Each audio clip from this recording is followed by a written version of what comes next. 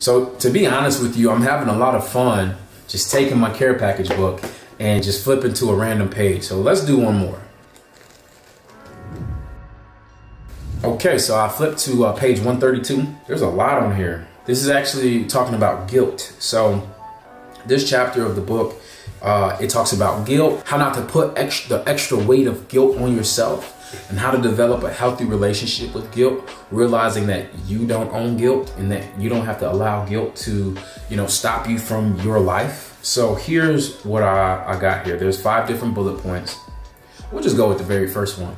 And the very first one is to realize and accept that you do not have to own the guilt. It's not your responsibility. The second one is you feel guilt sometimes because you outgrew people, but that's a normal process that occurs in life. And you should look at growth as a positive experience, not a negative one.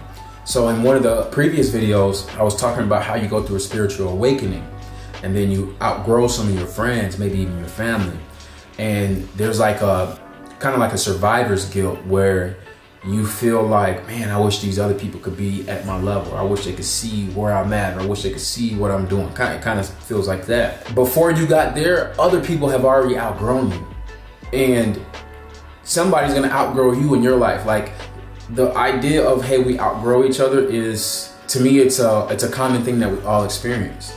So sometimes when you outgrow people, you just you know you just you just keep moving forward, man. You know you don't have to own the guilt and the other one here, now this may sound harsh to some people, but it just, I, I deal in reality, you know. I, this book is about reality. You know, I got a novel coming out soon that's about fantasy, and there'll be some fantastic fantasies in there. But in here, we have to deal with reality because we got to keep ourselves grounded in truth.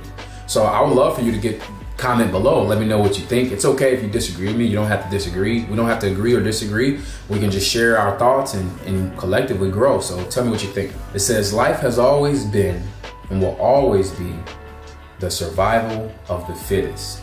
Those who grow, who adapt, who get stronger and wiser, and who adjust their behaviors are the ones who will continue to live happily.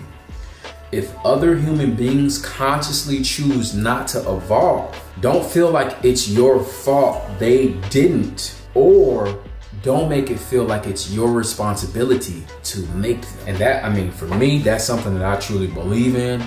Life is survival of the fittest. I feel like it always has been when you look at history, when you look at the present, and when you look at the future. We are organisms trying to survive, and there's different tactics, you know? There's different tactics to survive.